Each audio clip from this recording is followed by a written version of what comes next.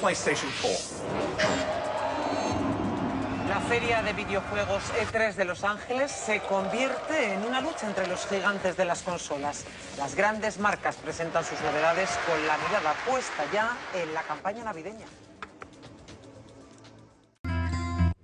Nos trasladamos ahora al universo de los videojuegos, donde la guerra se acaba de declarar. Dos facciones históricamente enfrentadas, Microsoft y Sony, han convertido la feria E3 de Los Ángeles en su campo de batalla. Dos consolas pugnan desde ya para ganar la campaña de Navidad, que es cuando más aparatos de este tipo se venden en todo el mundo.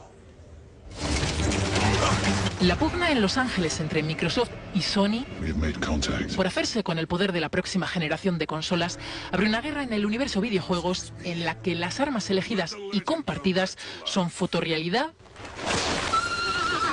tramas apocalípticas y espectacularidad. Lo mismo a la hora de mostrar sobre el escenario esas cartas que hasta entonces tanto habían escondido unos y otros. Ladies and gentlemen, I'm thrilled to introduce the PlayStation 4. Pantalla envolvente ambos, desarrolladores y mucho misterio hasta desvelar qué aspecto tiene. Pero tras la puesta en escena, la batalla se encarniza. At 399 399 dólares la PS4 que estará lista en diciembre. this holiday in November. Un mes antes, pero 100 dólares más cara, llegará al mercado la Xbox One. La contienda navideña está en juego y la partida más importante de los últimos años no ha hecho más que comenzar.